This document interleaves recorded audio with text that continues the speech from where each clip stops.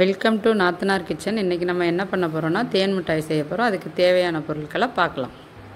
இட்லி அரிசி ரெண்டு கிளாஸ் உளுந்து அரை டம்ளர் போட்டிருக்கேன். ஆனால் ஒரு கிளாஸ் அரிசினா கால் கிளாஸ் உளுந்து போடணும். உப்பு சிறிதளவு. ஃபுட் கலர் சிகப்பு ஒரு அரை ஸ்பூன் சமையல் சோடாப்பு ஒரு அரை ஸ்பூன் ஒரு டம்ளர் அரிசிக்கு ரெண்டு டம்ளர் சுகர் எடுத்துக்கிறேன்னா ஜீனி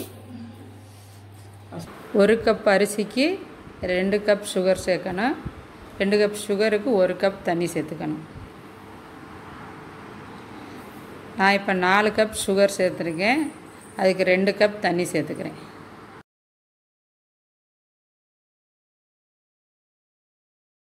இப்போ தண்ணி ஜீனியெல்லாம் ஊற்றி பாகு காற்ற ஆரம்பிச்சிருக்கோம்.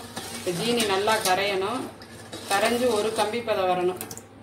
ஆனால் ஜீனி நல்லா கரைஞ்ச உடனேயே ஒரு ரெண்டு ஸ்பூன் பால் இதில் ஊற்றணும் அப்போ அதில் உள்ள அழுக்கு எல்லாமே மிதந்து வரும். அதை உங்களுக்கு நான் காட்டுறேன். இப்போ நாலு மணி நேரம் அரிசி உளுந்த ஊற வச்சு நல்லா நைஸாக அரைச்சி எடுத்துருக்கோம். இப்போ அங்கிட்டு சீனி பால் காயக்குள்ளே நம்ம மாவை ரெடி பண்ணிக்கிறலாம். நம்ம மாவோட அரை ஸ்பூன் உப்பு அரை ஸ்பூன் சோடாப்பு ஃபுட் கலர் சிகப்பு சேர்த்துக்கிறலாம். சேர்த்து நல்லா மிக்ஸ் பண்ணி எடுத்துக்கணும்.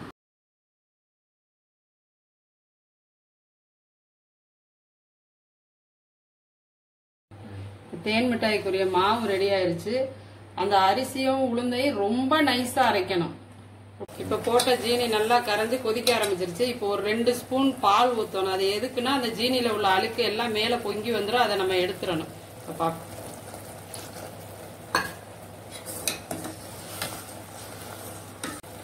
பாலை ஊற்றினா இந்த மாதிரி அழுக்கெல்லாம் மேலே வந்துடும் இதெல்லாம் நம்ம எடுத்துடணும். இப்போ ஜீனி பாகு நல்லா பியூராக நல்லா இருக்கு. இன்னும் நல்லா கொதிக்க விடணும். ஒரு கம்பி பதம் வர்ற வரைக்கும் நல்லா பாகு கொதிக்க விடணும். இப்போ பாகு நல்லா வந்துருச்சு. இப்படி ஒரு கம்பி பதம் வரணும். எடுத்தோம்னா இப்படி ஒரு பதம் இந்த கம்பி பதம் வரணும். இப்போ பாகு ரெடி ஆயிடுச்சு என்ன தேன் மிட்டாய் குறிக்கலாம் இப்போ ஸ்டவ்வில் ஒரு பாத்திரத்தை வச்சு எண்ணெய் ஊற்றி காய வச்சுருக்கோம். இப்போ எண்ணெய் நல்லா காஞ்சிருச்சு. எண்ணெய் காஞ்சவொன்னா கொஞ்சம் மீடியம் ஃப்ளேமில் வச்சுக்கிறணும். வச்சுட்டு மிட்டாய் போட ஆரம்பிக்கணும்.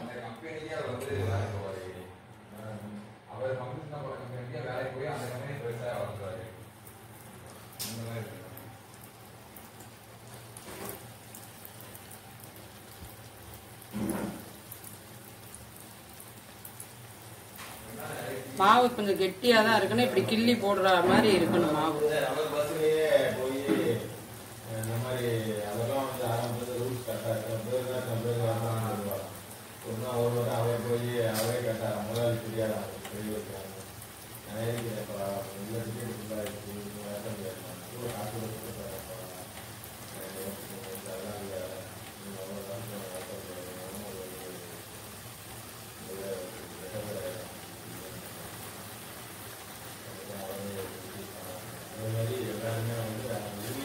இப்போ நல்லா பொரிச்சு எடுத்துக்கிறோம்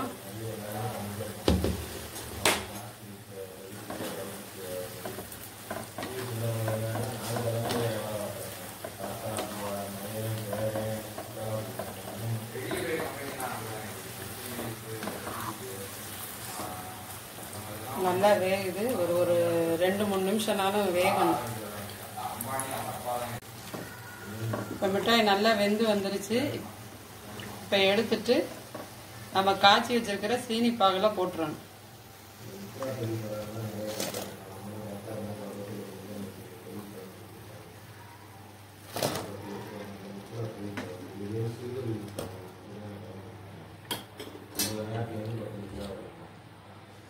சீனி பாகில் கொஞ்சம் நேரம் அந்த மிட்டாய் ஊறட்டு நான் அடுத்த ஒரு இதை போட்டுக்குவேன். இது எடுக்கையில் அந்த பாகில் ஊறப்பட்ட மிட்டாயை எடுத்துக்கலாம்.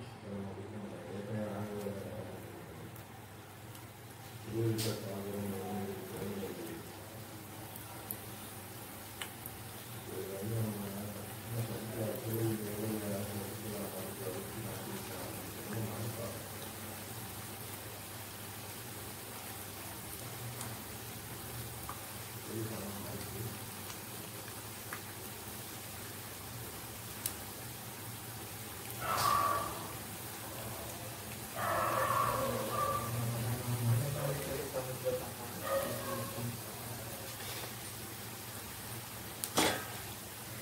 அடுத்த ஈடு பொரிய ஆரம்பிச்சிருச்சு இப்போ ஃபஸ்ட்டு ஜீனி பாகில் போட்ட மிட்டாய்களை வேற தட்டில் எடுத்து வச்சிடணும்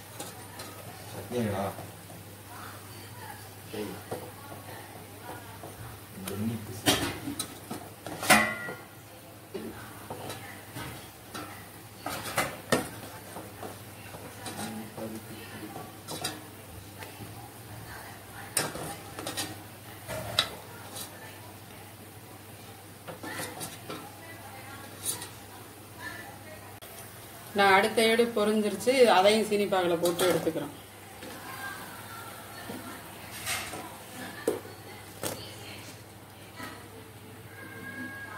நம்மளோட தேன் மிட்டாய் ரெடி ஆயிருச்சு. இன்னைக்கு ஜீனி பாகில் நல்லா ஊறின உடனே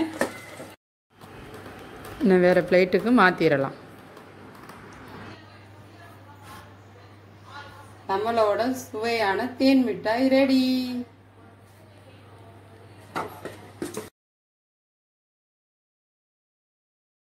எங்களோட சமையலை தொடர்ந்து பார்க்கணுன்னா எங்களோட சேனலை சப்ஸ்கிரைப் பண்ணுங்கள் லைக் பண்ணுங்கள் கமெண்ட் பண்ணுங்கள் அப்படியே பக்கத்தில் இருக்கிற பெல் பட்டனை மறக்காமல் கிளிக் பண்ணுங்கள் அப்போ தான் நாங்கள் போடுற வீடியோக்கள் உங்களுக்கு நோட்டிஃபிகேஷனாக வரும். தேங்க்யூ